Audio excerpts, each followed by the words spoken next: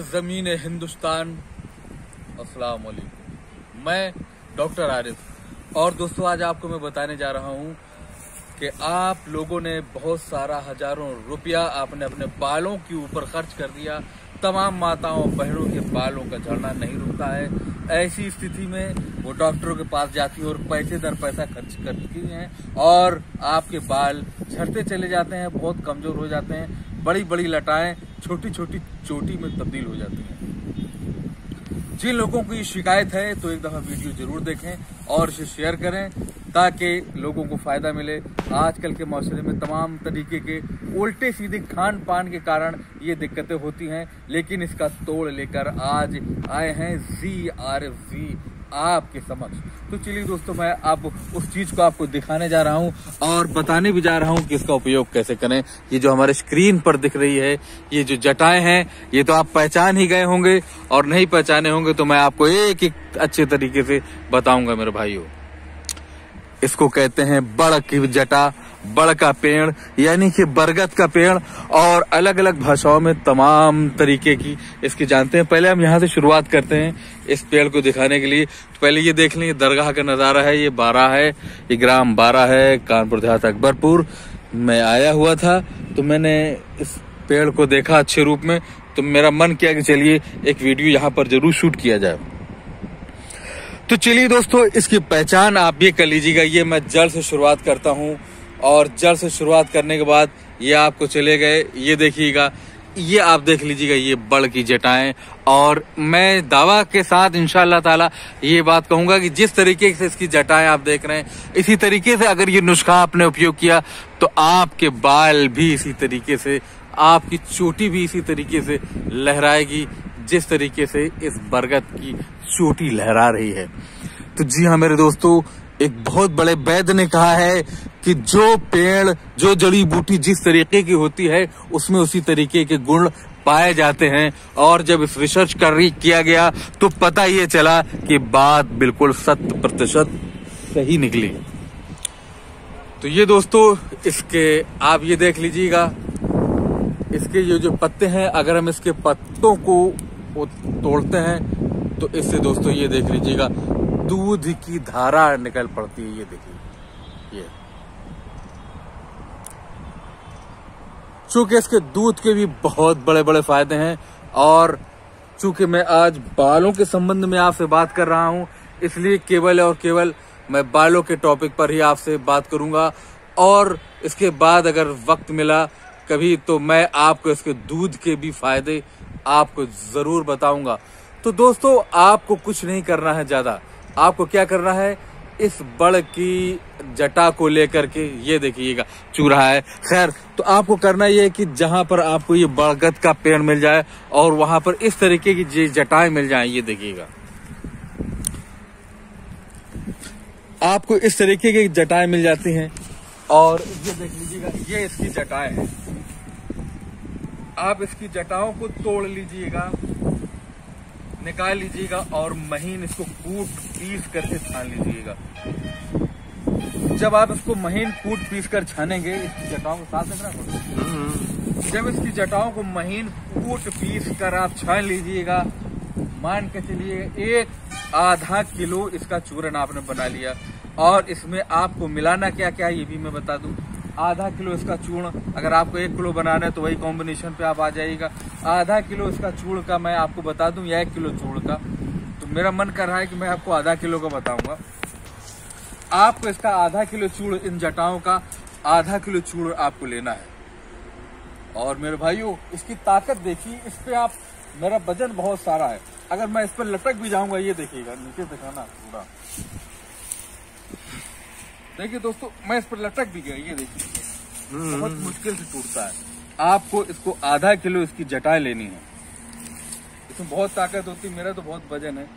इसकी आप आगे आ जाइए। इसकी आधा किलो जटाएँ ले करके आपको कूटना है। करीब में आप जब आपको कूट लेंगे तो इसका सफूब चूरन बन जाएगा। और इसके बाद इसमें आपको क्या क्या मिलाना है ये भी मैं बता दूँ।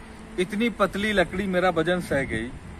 भले वो टूट गई, टूटी नहीं, ये देखिए छिन गई है। खैर, उसके बाद आपको क्या करना है कि इसका सूर को लेकर के इसमें आपको आधा किलो में आपको 25 ग्राम काली मिर्च का चूर्ण मिला लेना है। और 25 ग्राम एक सफ़ेद मिर्च आती है, काली मिर्च की तरीके।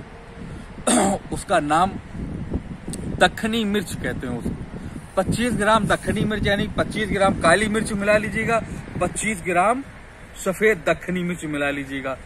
और आधा किलो जे इसका पाउडर आपने मिलाया। इसका पाउडर और आपको इसमें क्या करना है कि 100 ग्राम करीब देशी मिश्री मिला लेनी है। देशी मिश्री आप जानते होंगे, देशी मिश्री आपने 100 ग्राम मिला लेनी है और उसके बाद पीस करके उसको खाना है एक चम्मच सुबह, एक चम्मच शाम दूध के साथ में। और लगाने के लिए आप इसी के पाउडर को अलग से कूट लीजिएगा। या किसी की जटाओं को जला लीजिएगा, भस्म बना लीजिएगा। और भस्म बनाने के बाद, भस्म बनाने का तरीका ये कि इसकी जटाओं को लीजिए, एक घड़े में बंद करिएगा, या कि छोटी सी मटकी में बंद करिएगा। चारों तरफ़ से आटा लगाकर नीचे गाड़ दीजिएगा। और नीचे गाड़ने के बाद, मेरे दोस्तों, आपको क्या करना है कि जब आपने नीचे गाड़ देंगे तो चारों तरफ़ से कंडों की ओपली लगा देंगे, और कंडों की ओपली लगाने के बाद उसमें आग लगा देंगे। उसकी भस्म बन जाएगी जब वो बिल्कुल अच्छी तरीके से ठंडी हो जाए, उसको निकाल लीजिएगा और आप उसको तिली के तेल में 100 ग्राम तिली का तेल ले लीजिएगा और एक से दो चम्मच दो चम्मच आप इसकी भसम ले लीजिएगा और उसको मिला करके, अच्छे से हिला करके अपने बालों में आप जड़ों में मसाज करेंगे। तो मेरा मानना है कि आपके झड़ते हुए बाल पूरी तरीके से झड़ना बंद हो जाएँगे। तो जिन भाइयों को अगर हमारी बात समझ में आई है तो बहुत अच्छी बात है, और जिन भाइयों को हमारी बात समझ में नहीं आई है तो वे मेरा नंबर नोट कर सकते हैं, nine four five one four seven nine six four one. तो दोस्तों, देखते रहें G R F G YouTube channel, क्योंकि अभी बहुत कुछ बाकी है। तो दोस्तों, एक चीज़ मैं आपको बताना भूल गया हूँ। आप जो है, जब बाल झड़ रहे होते हैं तो आपको क्या करना है कि आप जब बाल धोएँगे, ये बहुत इंपॉर्टेंट चीज़ जो मैं भूल गया था, वो मैं आपको बताने जा रहा हूँ। जो आप बाल धोना शुरू करेंगे, चलिए अब इसको तो आपने पहचान लिया, चलते चलते आपको यहाँ और दर्शन दीदार करा दूँ। जब आप बाल धोएँगे तो आपको साबुन का उपयोग नहीं करना है। देखिए, मेरा वीडियो पूरा देखा करिएगा कभी कभी होता ये है कि मैं आपको पूरी तरीके से जानकारी बाद में मुझे याद आती है, जो मैं बाद में आपको बता देता हूँ। तो इसको आपको बालों को धोने के लिए आपको किस चीज़ का उपयोग करना है? आपको बालों को धोने के लिए इसमें उपयोग करना है, आप जानते होंगे, जो हम लोग जानवरों को खली देते हैं। आपको शाम को खली को ले लेनी है। आपको शाम की खली ले लेनी है और उसको फुलो देना है। और फुलोने के बाद सुबह उठ करके जिस तरीके से हम लोग साबुन लगाते हैं। उस तरीके से आपको खली अपने बालों में लगा लेनी है। जब आप अपने बालों में खली लगा लेंगे और उसके बाद कम से कम 10 से 15 मिनट या आधा घंटा तक आप वहाँ पर बैठे रहिएगा। खली लगाने के बाद 10 से 15 मिनट तक आप बैठे रहेंगे। और जो माताएँ बहने हैं, वो भी खली का उपयोग करें, साबुन न लगाएँ। उसके बाद उस खली को आपको धो लेनी है। धोने के बाद आपको अच्छी तरीके से नहा लेना है। नहाने के बाद जब आपके बाल पूरी तरीके से सूख जाएँ दोस्तों, ये बात गौर करने के जब आपके बाल सूख जाएँ, जब आपके बालों में पानी हो तो ऐसी स्थिति में आप जो है, तेल नहीं लगाएँगे। ये वाला तेल। जब आपके बाल सूख जाएँ,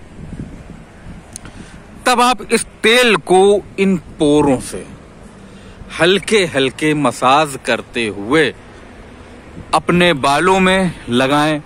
और दूसरी बात, जो भाई हैं, हमारे मर्द लोग हैं, जो इस तेल को लगाएँगे तो तेल को लगाने के बाद सर, में अपने हेलमेट ज़रूर लगा लें। अगर हेलमेट नहीं लगा सकते हैं, गाड़ी चलाने में हेलमेट अवश्य लगाएँ। मैं हेलमेट गलत बोल गया। अपने सर में आप टोपा लगाइएगा। टोपा लगा लीजिए। अगर आप टोपा नहीं लगा सकते हैं तो जिस तरीके से हम रुमाल बांधे हुए हैं, आप रुमाल बाँध लीजिएगा ताकि बाहर की गंदगी आपके बालों में ना आ पाए। तो ये आपको करना है। तो दोस्तों देखते रहें G R F YouTube channel क्योंकि अभी बहुत कुछ बाकी है। ज़्यादातर तेल रात में ही लगाएँ। खुदा हाफिज।